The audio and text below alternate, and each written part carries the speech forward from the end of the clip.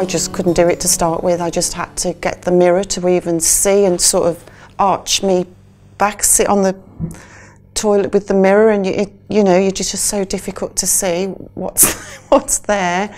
Um, eventually, I sort of got it, but I know by feel now that I can I can do it. It's been absolutely wonderful. Um, I've had no, don't get UTIs anymore, so there's no more antibiotics. If it wasn't for LoFric Sense, life would would still be the same as it was before. I'd be having time off work. I'd be trips to the doctors, antibiotics, which I was just at my wits' end with. You know, I tried other things, the the cranberry juice, the water, all those sorts of things. Nothing seemed to work. And you'd think antibiotics would work, but um, no, they didn't. So. Um, so yeah, the LoFric Sense was was wonderful.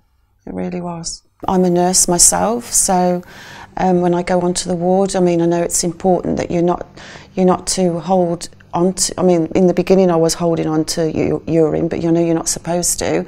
Um, but I, with a, such a busy role, you have to, you know, still go to the loo while you're at work, and it's well, you just go and go in your break and stuff and carry on work and, and then always keep them in my bag. So um, if I go out to a restaurant or for a drink, it fits into everyday life. It just just does.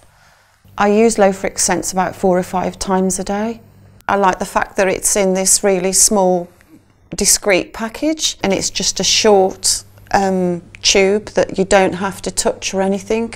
Um, so in terms of hygiene, that is really beneficial um, to me as well. Uh, it's had a massive improvement on my quality of life, massive. Um, you just fit it into your handbag and just fit it into your everyday life. It's been absolutely brilliant. Yeah, it's been a life-changing experience.